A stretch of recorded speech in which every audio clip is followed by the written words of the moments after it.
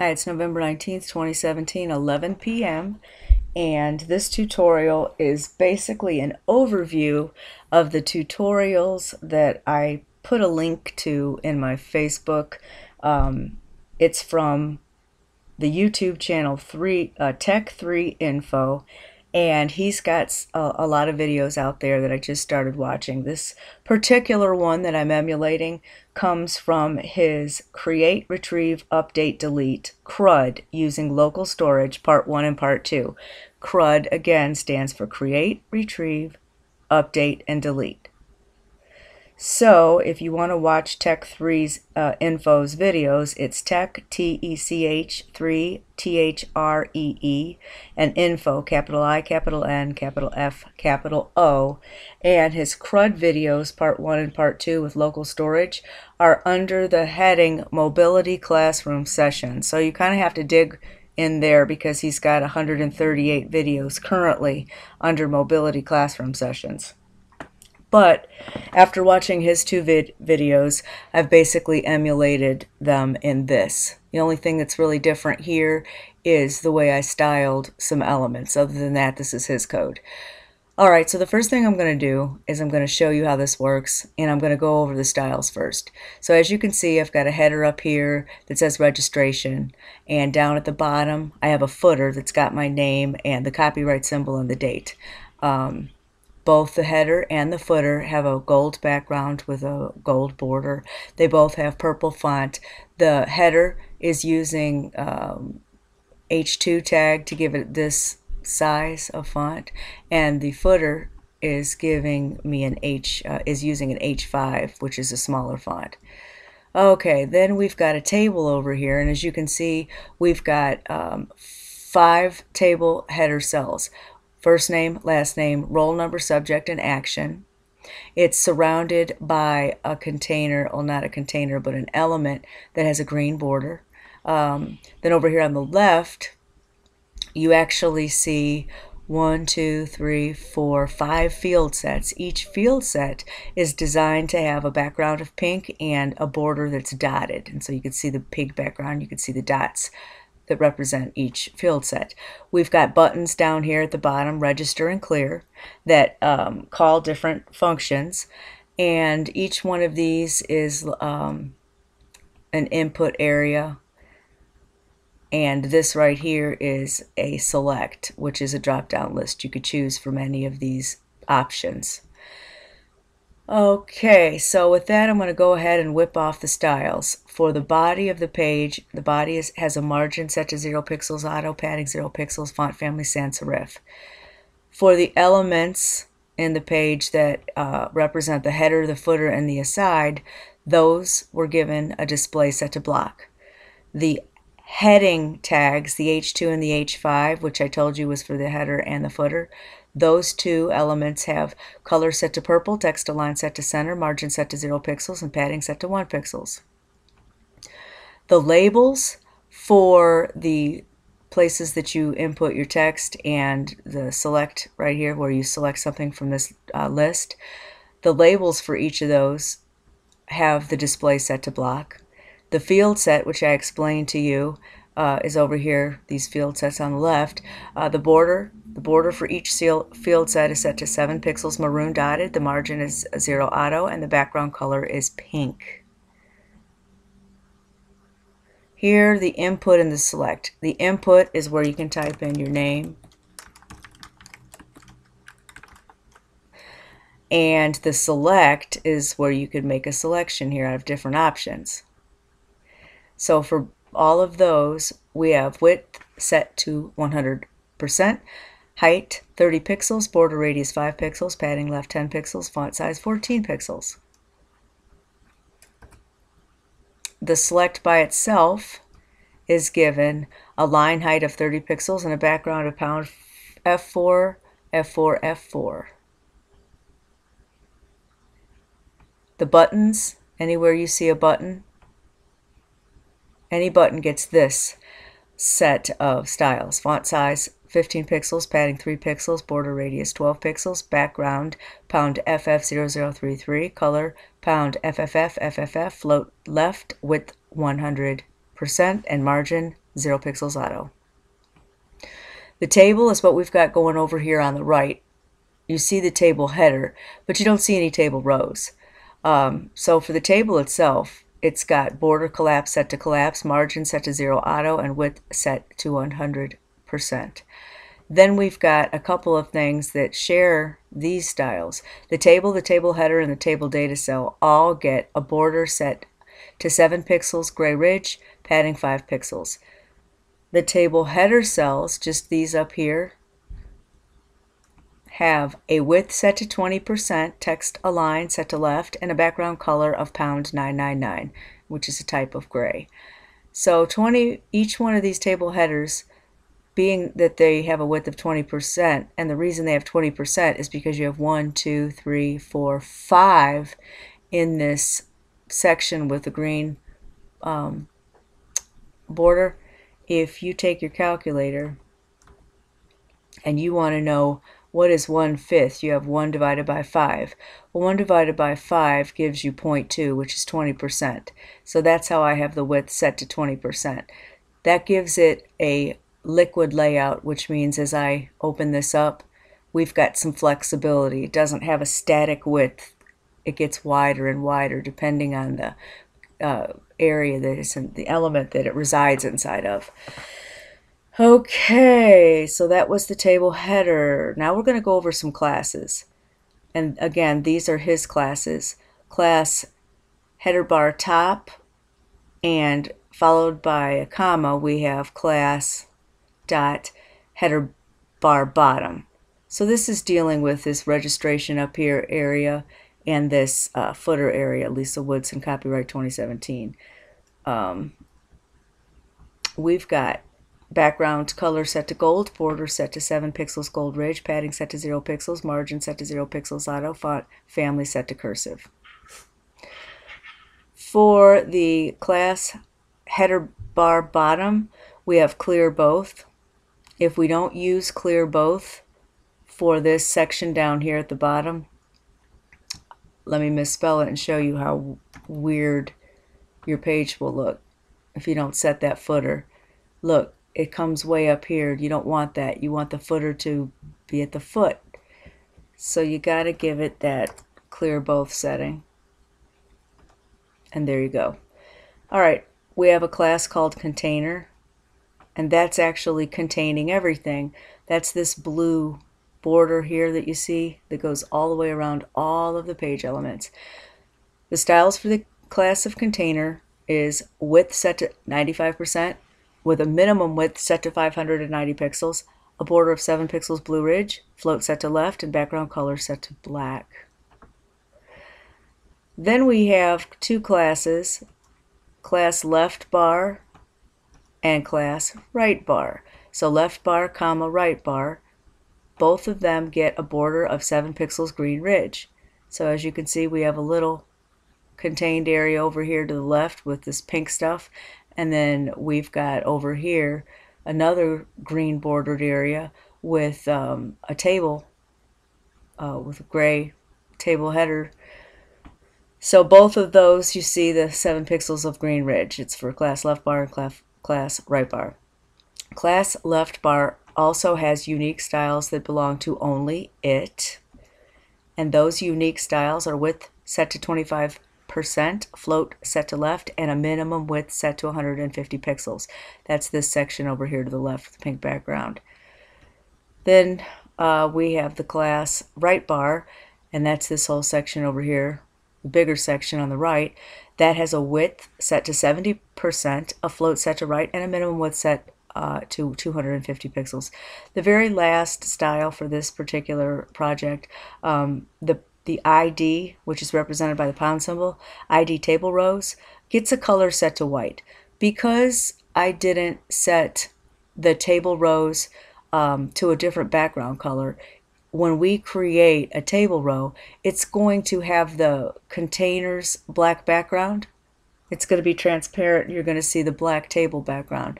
So I can visualize the um, text as we create a row. I just gave the table rows ID a color of white. So it'll be kind of like a chalkboard. Now let me um, go ahead and hit the register button and you'll see what I'm talking about. See the new table row? We have a color of white, so it kind of resembles a chalkboard. Plus, in, under the action table data cell here in this row, we have an edit button and a delete. If I were to create um, another registration here, let's make a John Doe, let's give him this number, and let's put his subject as chemistry. Register, now we've got another table row here. John Doe, roll number 345, subject is chemistry. Let's do one more.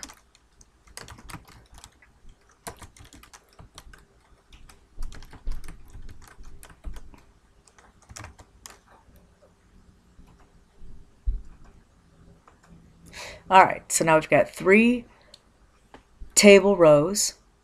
Each row has its own edit or delete button. And over here, you can see the register and the clear. Let's say I want to change um, Tabby Cat. I'm going to hit edit. Now all the Tabby Cat information comes over here in our little pink uh, field set section. So I'm going to change the last name from Tabby Cat to Tabby Dog.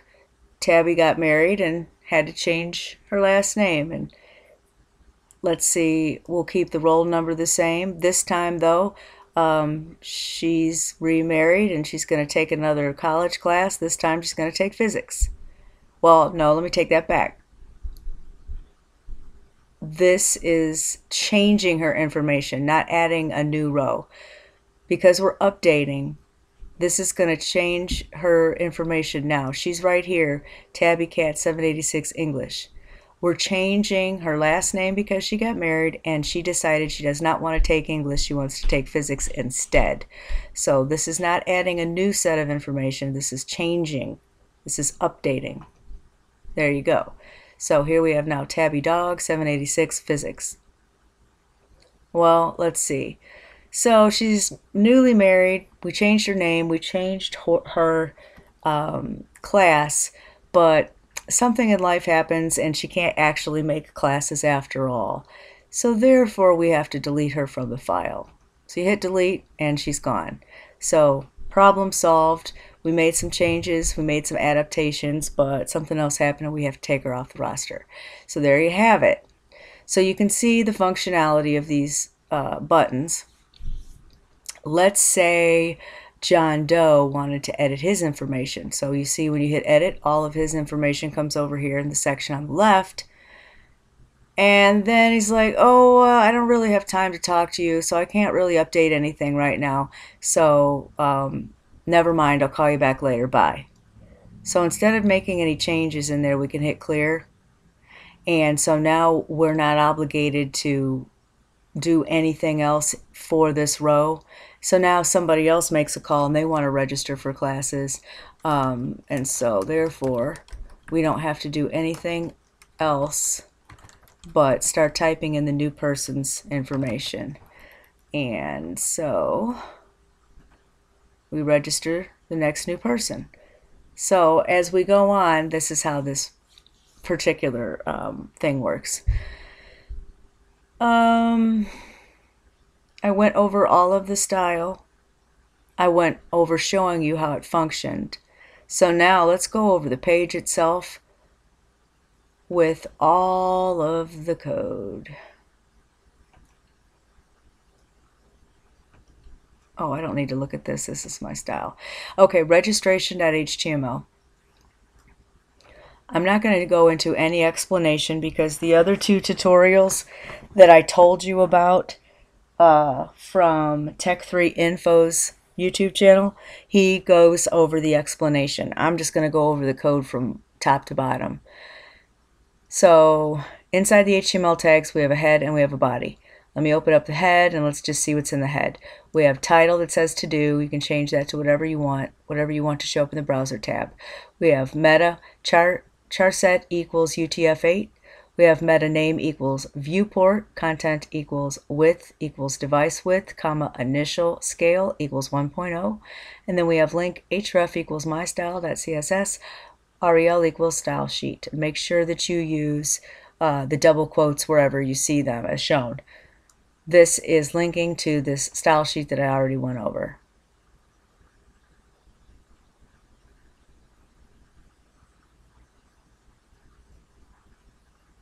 Now, we also have a script inside of our head. Let's look at the script. This is all JavaScript. The top, the first two statements are global variables. The first statement var selected index equals negative 1. The second statement var students array equals, and then you've got this empty array symbol of square brackets. So those are two global variables. They're variables created outside of functions. We are going to go over a variety of JavaScript functions in the head here inside of the script tags. We are going to go over function init that has uh, nothing in the parentheses, no parameters. We're going to go over function on register pressed. Again, no parameters in the parentheses. We're going to go over this function prepare table cell, and this does have parameters in the parentheses, index, comma, first name, comma, last name, comma, roll num, comma, subject. So we've got one, two, three, four, five parameters for the function prepare table cell. We are going to go over function delete table row, and it has one parameter called index. We will go over function on clear pressed, no parameters in the parentheses, empty parentheses there. And then finally, we'll go over function on edit pressed, and that has one um, parameter called index. And there's the end of the ending script tag, ending head. After we finish all the head information, we'll look at what's inside of the body. So, quickly, let's look at function init. Let me open it up. So the first thing that happens inside a function init is document.getElementById by ID parentheses and double quote or parentheses and quotes table rows dot inner HTML equals an empty string. Then we have an if condition. If local storage dot students record, then in the quotes here, I mean the um, curly braces from line 18 all the way to line 26, if local storage dot students record students array equals json.parse and then in parentheses local storage dot students record. So that is one whole statement. If local storage dot students record then students array equals json.parse parentheses local storage dot students students record Here's a for loop. For var i equals 0, i less than students array dot length, i plus plus. And our for loop goes from here to here. Prepare table cell. So we're calling, in this for loop, we're calling prepare table cell. And all this stuff is in the um, parentheses. We're calling prepare table cell, which is a function. The first thing being i. After the comma, we have the second argument, which is students array index i dot first name, comma. The next argument is students array index i dot last name, comma. The next argument is students array index i dot roll num comma and then the last argument is students array index i dot subject. There's the end of the for loop here's the end of the if and here's the end of the init function. Okay so we're done with that function. That's the initialization function and close that up and now let's look at the function on register press. That's when you press this button that says register right here. That's what's going to happen there. Open it up. Function on register pressed, empty parentheses, opening curly brace. Our first name equals document element by ID, parentheses, quotes first name dot value. Next, var last name equals document dot get element by ID, parentheses quotes last name dot value. Next, var roll num equals document dot get element by ID, parentheses quotes roll num dot value. next. var subject equals document dot get element by ID, parentheses quotes dot uh, subject dot value. So you're seeing the pattern here, right? Pretty sure you should be seeing the pattern, except right here, this is a little different because we're creating an object.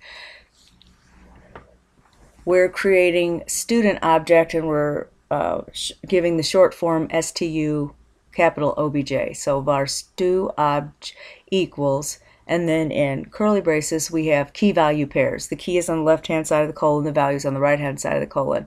So the key, the first key value pair is first name, all in lowercase, colon, first, capital N name, that's the value.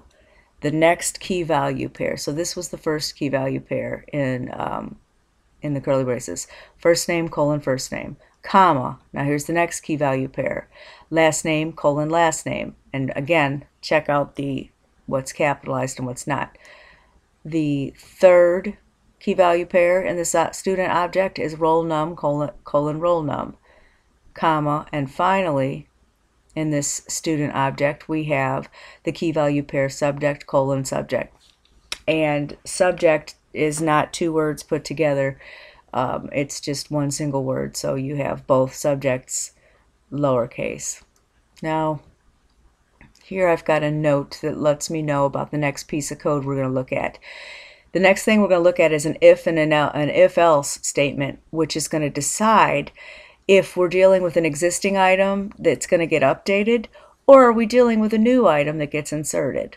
So if you have a new item that gets inserted, we're dealing with this register and a brand new row. If we're dealing with editing one of the pre-existing rows here, then um, that's an item that gets updated. So there's there's a, a constraint there that needs to understand which thing is actually happening.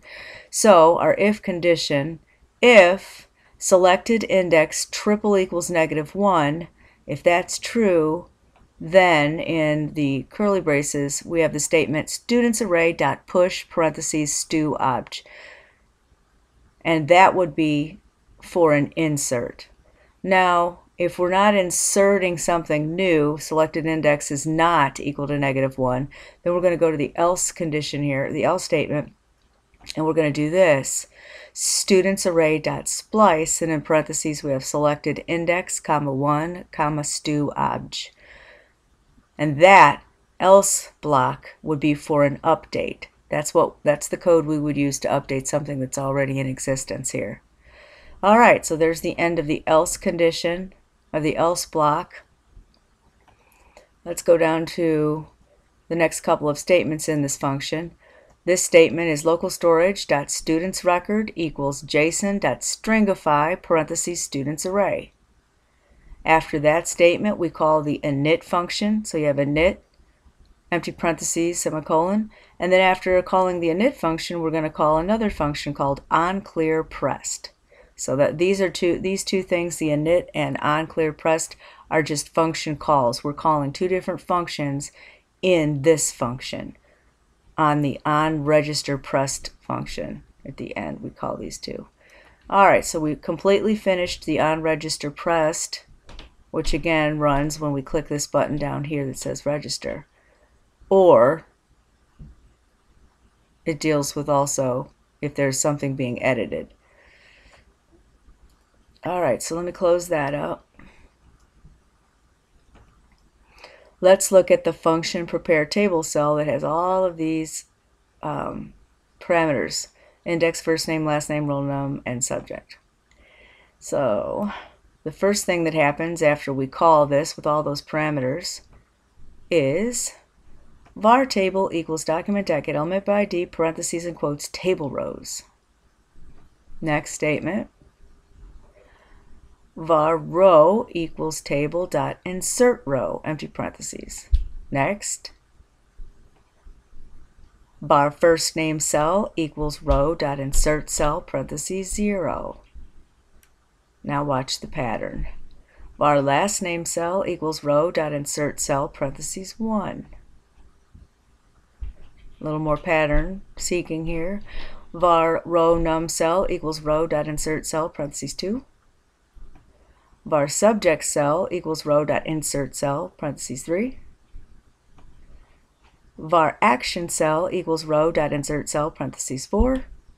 And you want to look at the patterns because if you want to take this code and make it your own, make it for something different other than what, what's going on here, you have to understand what each of these things are named if you want to change this to make it your own.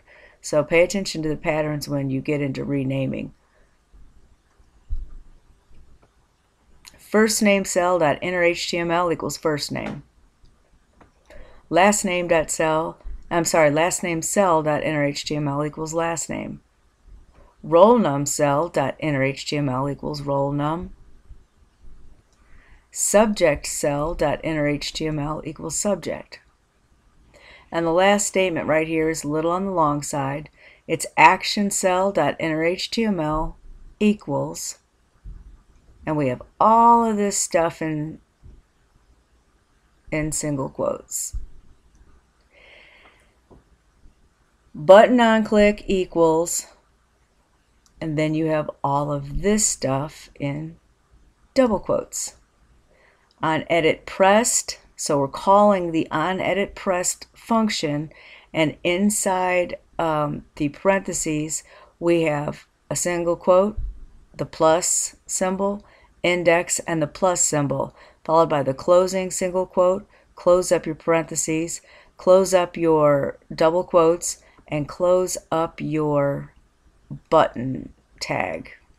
So all of that highlighted right now is your opening button tag. You have the word edit inside the button tag. That's what you see over here, the word edit on all of these buttons.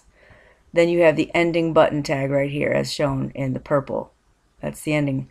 After the ending uh, button tag for the button, you have a break tag, which goes down a line. And then we have another button. This button, opening button tag, has an on click, which is going to call the delete table row function. And in the parentheses, you have single quote plus index plus single quote. Then here's your closing double quote and your closing, uh, your symbol here that closes up the opening tag for the button. All that highlighted is the opening button tag which has the word delete on it, as you can see over here, delete, delete, delete. And then you have your ending button tag. So all of that stuff is one line of code. You have one semicolon here. That's all one line of code. And then your ending um, curly brace for the prepare table cell function. So from top to bottom, that's the prepare table cell function. Let's close that up. Let's look at the next function called delete table row. So after you name it, function, delete table row, and in parentheses you have uh, index and your opening curly brace, the first line is this one. Students array dot splice parentheses index comma 1. After that, we have this local storage dot students record equals json dot stringify parentheses students array. And then we call the init function again at the end of the delete table row function, right before the ending curly brace. We call that init function as well. All right, so we finished the delete table row function. Let's close that up. Let's look at the next one. Function on clear pressed. So this is what's going to happen every time we hit this clear button. So function on clear pressed empty parentheses open curly brace. First thing we have is selected index equals negative 1 followed by document get element by ID parentheses and quotes first name dot value equals an empty string followed by document get element by ID parentheses quotes last name dot value equals empty string Again, you're seeing a pattern here, so just enjoy the pattern. Document dot get element by ID, parentheses quotes roll num dot value equals empty string. Document dot get element by ID, parentheses quotes subject dot value equals math. Now, since we're hitting the clear button, making each of these things have an empty string was easy enough. But with our select here, we are changing the value to math because that's the first thing in the selection list here that we have. Math, physics, chemistry, English, and psychology. It's the top one, so we're using that as a default. Lastly, uh, the last thing that happens on the onClear pressed function is document.getElementById by ID, parentheses and quotes, submit.innerHTML equals register. So what that does is um, when you click the clear button, the last thing that is going to happen is you're going to get this register. It's going to ensure that this button says register on it. And that's really it just wants to make sure that that's what it says instead of update. All right so there's the ending curly brace for the on clear pressed function. Let's close that up. And let's look at the very last one we have on edit pressed so now when we click the edit button over here you're going to see what happens when it calls this function on edit pressed and in parentheses we have index so when you call a function on edit pressed with the parameter of index, the first thing that happens is we have selected index set to index. Selected index equals index. After that, we have var stu obj, again, short for student object, our student object equals students array, and then we have our square brackets here with the word index inside. The next thing that happens is this. Document dot get element by ID, parentheses quotes first name dot value equals student object dot first name. I'm just going to say student object because it sounds better than saying stu obj. The next thing that happens is document dot get element by ID, parentheses quotes last name dot value equals student object dot last name. You're seeing the pattern again. Document dot get element by ID, parentheses quotes roll num dot value equals student object dot roll num document dot get element by get element by ID parentheses quotes subject dot value equals student object dot subject. And finally, last but not least, document dot get element by ID parentheses quotes submit dot inner HTML equals update. And there is the ending curly brace for the on edit pressed function. So now we went over all the functions in the JavaScript in the head of the HTML web page. So, because I finished the script and I finished the head, I'm going to close up the head. Close that up. So now you see what we started with, the HTML and the head. Now we're going to look at everything in the body. First thing you see before I even open this up is body onload equals init. So when the page for, is first turned um, turned on, if it's first loaded, when you first open it, it's automatically calling the init function that we went over. Every time you open the page, it does all of the commands that are in the init function. The next thing we see in the body is div class equals container. Remember, container is one something that I uh, gave a style to, and that is this blue border with a black background. Next thing we have here is header. Class equals head bar top. Remember we gave head bar top a style in our CSS sheet, a style sheet. We also um, gave our H2 a style as well. So header class equals header bar top. Inside of that we have our H2 tags that say registration, which is what you see right here. All right.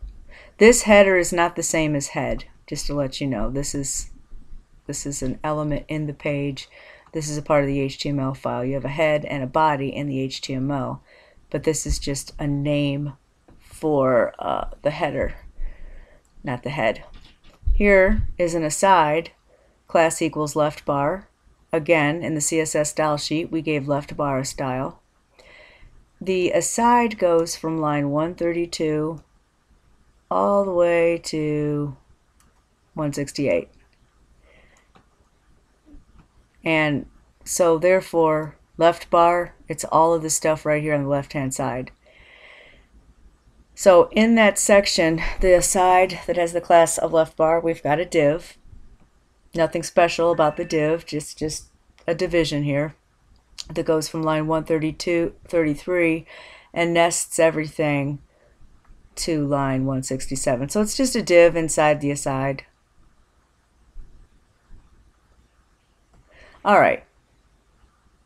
Here's a field set. This is the first field set from line 135 to 138.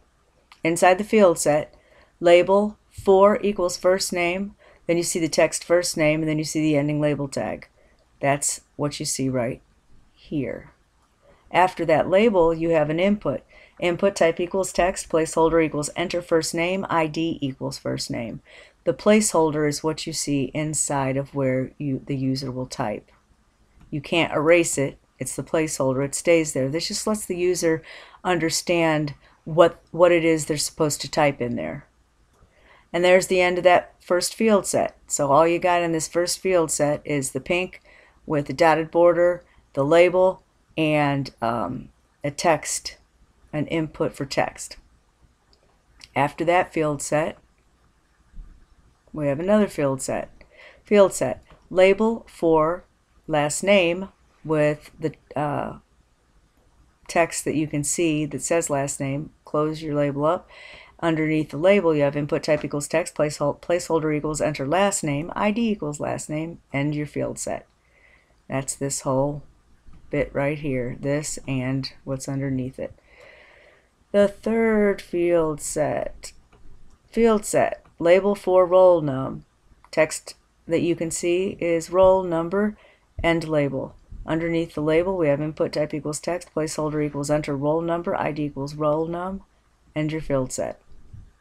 Next, field set.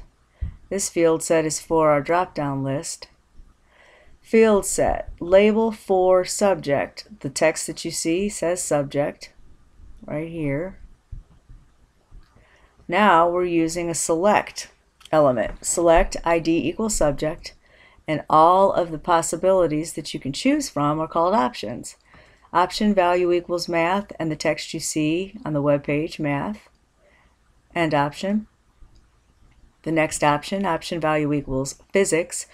The word you see is physics, and you end your option. Option value equals chemistry. The word you see is chemistry. Close your option tag. Opening option tag value equals English. The text you see when you do this, you know, math, physics, chemistry, English. End your option tag. Last option, option value equals psychology. The word that you see in that drop down list is psychology. Close your option tag. So there you have math, physics, chemistry, English, and psychology. Those are all options. Your ending select tag, your ending field set tag. The last field set here is right here. That This is the last field set down here. Label for submit. This takes you down a new space. It's and NBSP colon. That's just taking you down a new space. And then you end your label.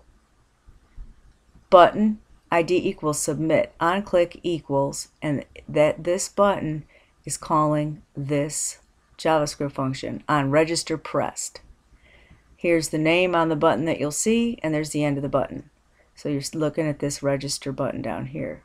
After the register button, we have another button. Button ID equals clear, on click equals on clear pressed. The word you see on the button is right here, clear, and there's the end of the button. So this button that says clear, when you click it, it calls the on clear pressed function. Close up your field set. That's the last field set. Here's the ending div tag and here's the ending aside. So now we have went over this whole pink section over here on the left.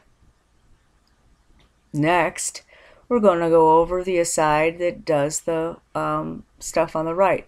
So aside class equals right bar. What's inside of this is a table, as you can see.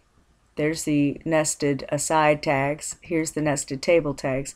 The opening table tag says table ID equals reg table. Then we have uh, a section called T head. We've got table row tags.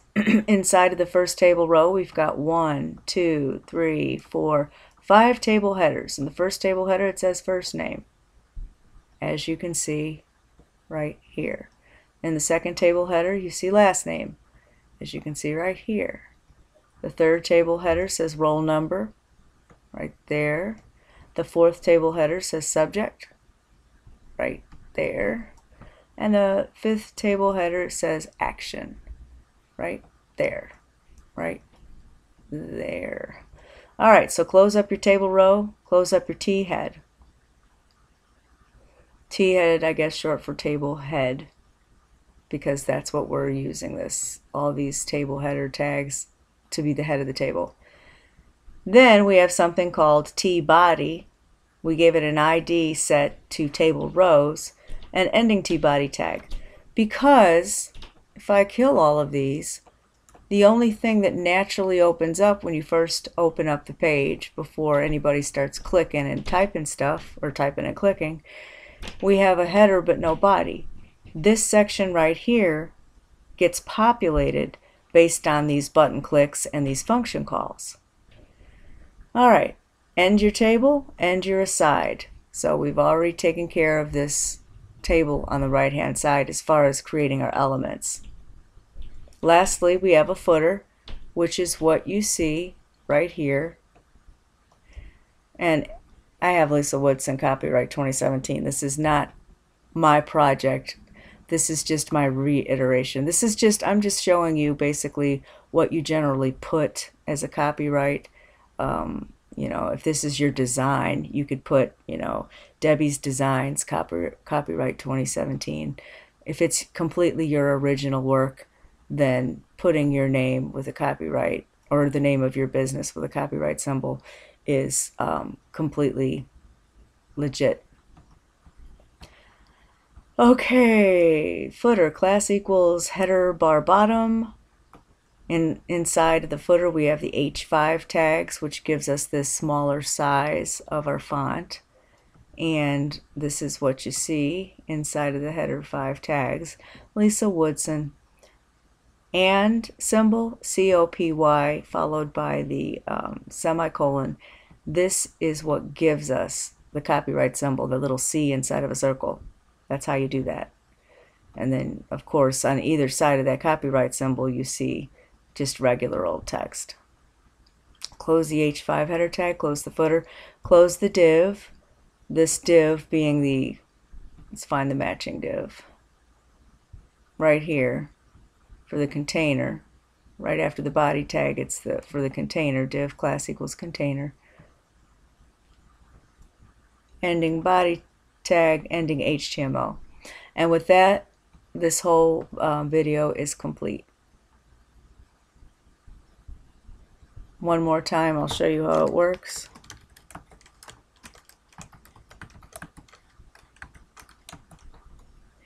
We've registered one person. Let's register another one.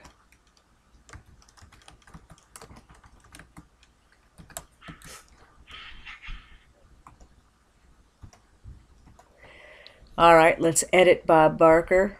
Let's say he doesn't want to take math. He wants to take something else. Oh, well, I accidentally deleted him, so that's tough. Uh, let's edit John Doe then and say he doesn't want to take physics. He wants to take English. Now this becomes an update button, and when we click this, it has updated him instead of adding a new one. John Doe is now going to take English.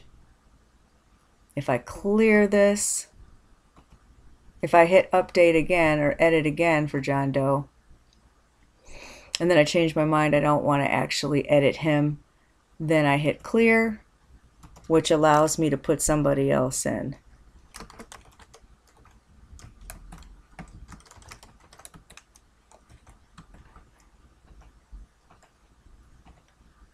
And again, the delete works for everything.